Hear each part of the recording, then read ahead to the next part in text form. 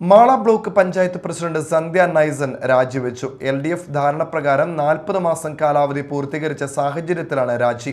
Secretary Anil P ചാലിന് മുമ്പാകെയാണ് സന്ധ്യ നൈസന് രാജി സമർപ്പിച്ചത്. നിലവിൽ ബ്ലോക്ക് പഞ്ചായത്തിലെ പതിമൂന്ന് അംഗ ഭരണസമിതിയിൽ ഭരണസമിതിയിൽ സി പി എമ്മിന് ആറും സി പി ഐക്ക് മൂന്നും കോൺഗ്രസിന് നാലും സീറ്റുകളാണ് ഉള്ളത്.